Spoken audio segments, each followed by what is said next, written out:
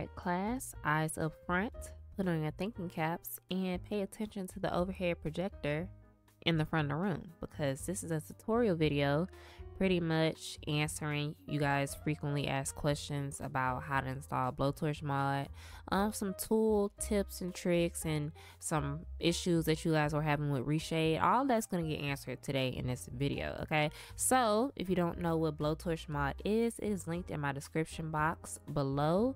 And if you check out my other videos that say realistic world tour and rebuilding the world from scratch and stuff just click on that and it'll pretty much explain to you what blowtorch is. Um but yeah for you guys that know what it is and you were having trouble downloading it i'm going to show you how to put it in your game. So once you click the description box in my um description box once you click the blowtorch mod in my description box it should bring you to this page. You're just going to scroll a little bit and click on download blowtorch and it should bring you to this page here okay? And first things first you need to ignore this where it says you need all files because you do not. The only files you need are the sims 4 base game files so click that download it. The sims 4 gp files click that download it. The sims 4 ep files part 1 and the sims 4 ep files part 2 okay? Just download that. That should be four things that you're downloading all right? And once you download it i already did. Even though i have the mod installed already i just kind of want to follow along with you guys. So i already downloaded and they're just going to show up here in your downloads as four zipped files.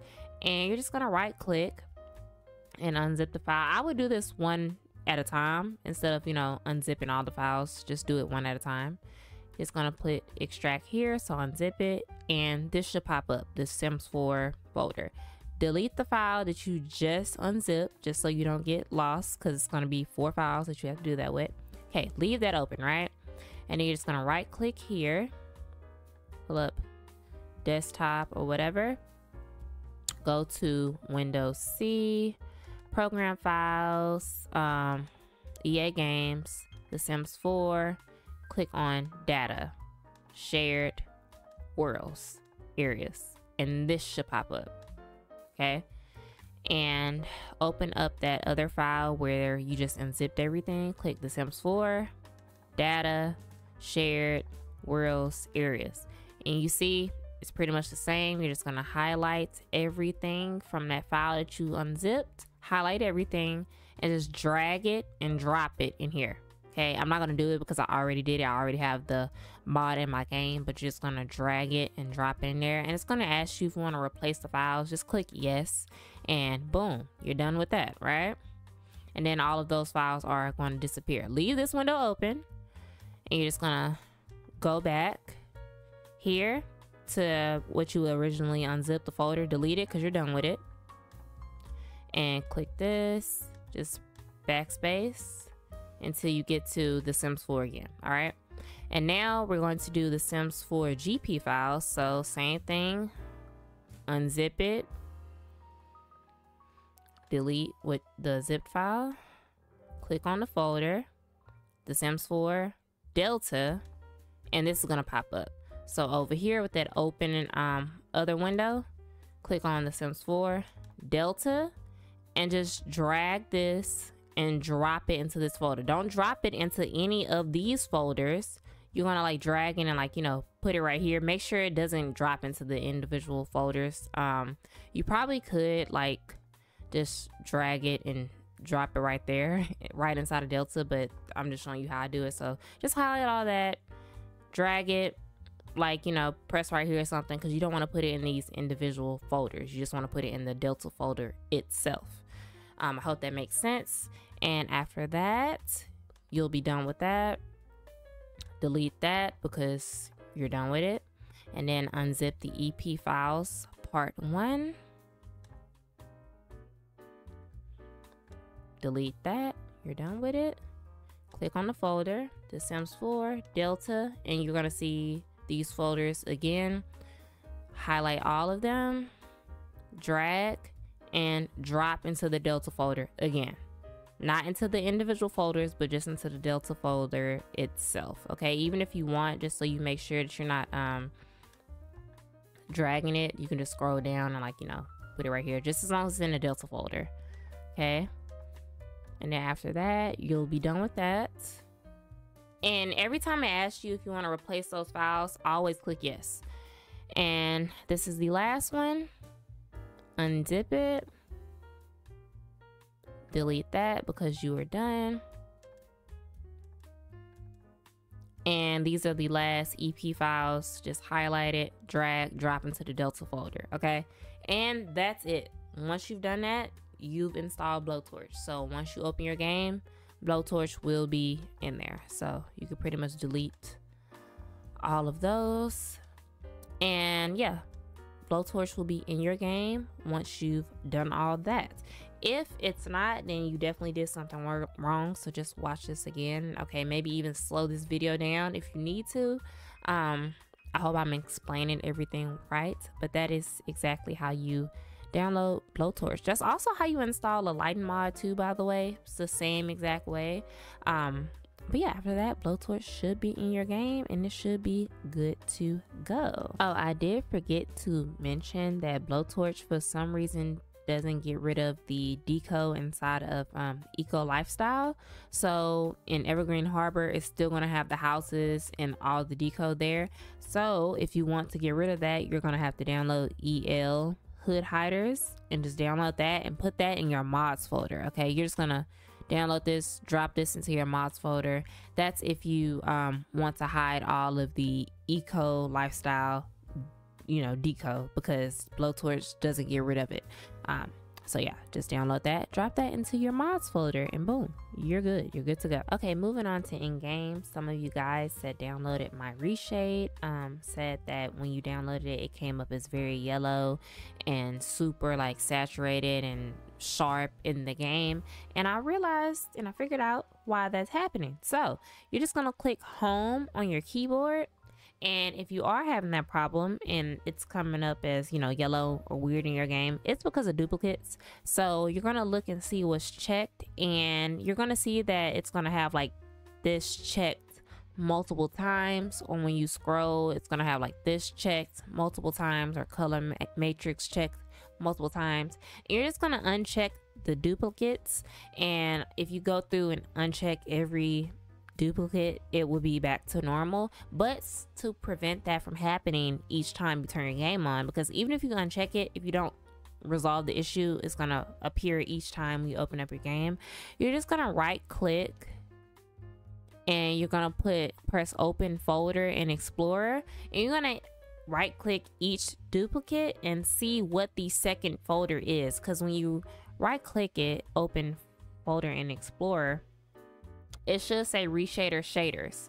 But if you right click it and it says reshader, shader, or say reshader something else besides this, then you just want to go in and you're going to click on it and delete that entire folder. Not this folder, but whatever the duplicate you know whatever causing that problem whichever folder it is. Um i think my folder said like rs arc or auto or something. It was like an extra reshade folder.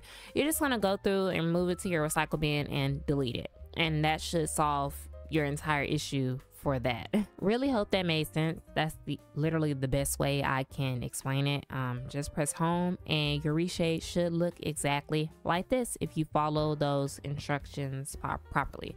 Um, sorry if I sound a little weird. Okay, I'm a little sick. All right, but hopefully that made sense. So moving on from that i'm going to show you some like tool tips and tricks that i learned. Um, some of you guys probably already knew this but i just learned it so i'm going to show you because it's going to help you when placing things off lot so let's just go over here to um, the deco house that i have placed which is right here um my brother did make this deco house okay? If you want realistic deco homes in your game just go over there and pledge to his patreon okay? There's so many more coming.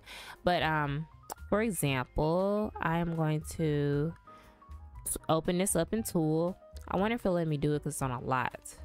Okay this is actually placed on a lot so it probably won't let me do it. Um because i actually placed that on a lot but let me use another deco house that's not on a lot like this one.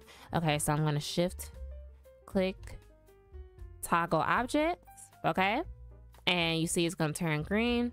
Um, if you want like a actual like basics going over how to use tool, please watch my how to use tool video where I'm going over the basics and then you'll understand what I'm doing. Okay. And if you want to click multiple things, just hold alt, click that. Hold alt, click that, hold alt, click that, hold alt, click that, alt, click and just click as many things as you want if you want to move multiple things. So you can move that by just pressing it and you see I just moved it. Um, if you want to undo your action, just press shift and click tool option undo and it'll put it back to where it was. But that's how you're able to move multiple things just by like alt clicking it and moving multiple things. You can also, after you alt clicked it, and you highlighted multiple things, you can just shift click it and this should pop up and then you'll be able to like rotate everything that you just um, clicked, you know, so you don't have to rotate each individual thing. You want to click rotate around center because you see how it has these individual like circles. You want to click rotate around center so it's just one big circle and then we're going to click 90, just rotate it 90 degrees and then it'll rotate the entire thing. Like it'll rotate everything that you have clicked okay? Just like that. And just click like you know the building.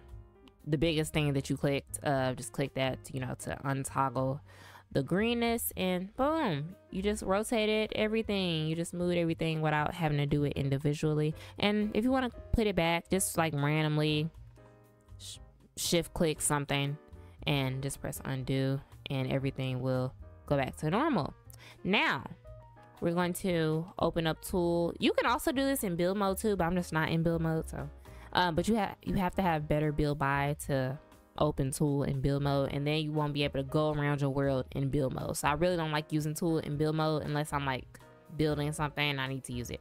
Um, so we're gonna toggle active object again, alt click. We're just gonna alt click some random things. Like this mailbox, this tree, and you know, just random stuff like that.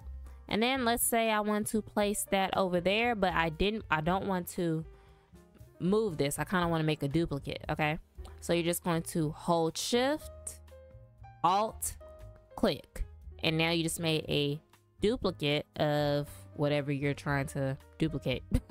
you're like able to duplicate multiple things at once. Okay. So now that's a duplicate and say I want to put it like, I don't know, right here. Boom. We just duplicated that stuff. It looks silly, but none of this matters because I'm going to be deleting all this anyways. And I'm not going to save this, so it doesn't matter. I can just put that right there. But yeah, so that is like some little tricks that I learned. Um, like, you know, just with messing around with tool and things like that, just how to duplicate things. And you can also do it with this tree, shift, alt, boom you have another tree right there. I love that. I use that so much, especially like when I'm trying to place multiple light poles or multiple things. I can just duplicate duplicate it right on spot instead of going back in build mode and um getting another object. It just makes things so much simpler and so much easier. Um, also, you can shift click on tool and if you want to move things precisely because in my other tool video I just said that you can just click it around but if you hold alt, can you see that? You can adjust it and move it more um with more pre precision. Wow, I can't talk today. But you see, I'm like moving it with more precision instead of just, you know, if I just not don't hold alt, it's like that. It's very spotty, but if I hold alt, I can move it exactly where I want to. So yeah, that is another thing, another little trick that I learned. When I said like I learned some like things that would make tool a lot easier, that is what I learned. So now that's how I'm able to get like doors and like stuff on these decor houses and decorate them and put everything on them because I just go in build mode on an empty lot and I like do everything I want to do and then I'll just like click everything you know that I placed and I'm able to like, you know, move it. So really cool. Love that. Um, that made placing things so much easier, especially like with fences and stuff, because I can just like click this, click all these little um, deco fence panels and I can just shift alt and boom, right there. Didn't even have to, don't even have to like place those individually anymore. And then I can rotate them. Like I said, make sure it's rotate around center. Make sure it's a big circle. If it looks like this, then you don't want it to look like that. Okay, you want it to be one big circle. And you know, just rotate it. Rotate it 90 degrees. Rotate it, um, I don't know, 45 degrees. Like, just however I want it to be. So I really love that. And I hope that was helpful. I'm trying to see. I think that's pretty much it for this video. Um, we went over how to install blowtorch. Um, I went over the reshade thing. I showed you guys some little fun tips and tool. I'm trying to see if there's anything else. Um, like I said, if you want to know how to like, you know, the basics of using tool, please watch that previous video that I made or just look for the video on my channel. It has like the Taco Bell profile, like picture on there.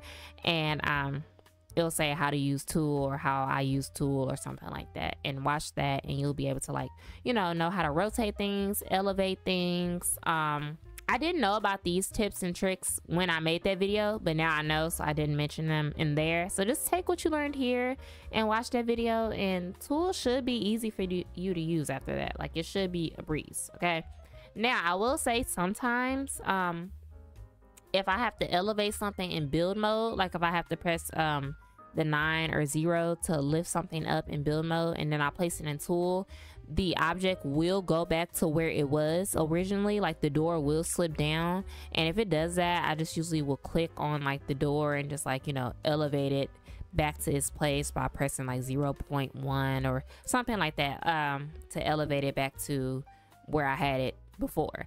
Um, you just want to keep doing small things. Like you never want to like elevate it to like five or six or anything. You always want to start with like decimals, like 1.1, 1.2, if you can, 0 0.2, 0 0.3. Like always start small when it comes to elevating or sizing things up. When it comes to rotating, you can use bigger numbers. That doesn't matter. But anytime it comes to like, you know, um, elevating, use small decimals. Uh, that is my tip for you guys. Um, I think that is pretty much it for me in this video. I went over everything I wanted to. And yeah, I hope I didn't forget anything. If I did, just remind me in the comments and I'll probably like address it in my next video or in the comments if you guys have any extra questions about anything. Um, like you guys like i said it before blowtorch does not remove trees so there will still be like trees that are a part of EA and rocks and stuff that you can't move. These trees I placed myself, but like these trees over here and like these rocks and stuff, I can't move that or I can't delete that. So sometimes your deco buildings will be on top of trees and there will be trees peeking through and stuff like it is here. But that doesn't bother me. If it bothers you guys, and I really don't know what to tell you, but stuff like that don't bother me. I don't care. Um, so yeah, but sometimes there will be times where you have to put buildings on top of trees or sometimes buildings will be hanging off in the back like this school I got right here it's hanging off but you know it don't matter because it's about just you know the front the aesthetic of it. It don't matter that's hanging off in the back okay? Things won't be perfect okay? We're not creating our own video game from scratch. We just working with what we got using ea and their worlds and their restrictions. So, with that being said, that's it for me. Okay, y'all know I can stay here all day and yip yap, but I don't want to do that today because I'm very sniffly and sinusy, and that's what happens when you love animals but you're allergic to them. Okay, you just deal with the sniffles and the stuffy nose. But yeah, I will see you guys in my next video. Bye.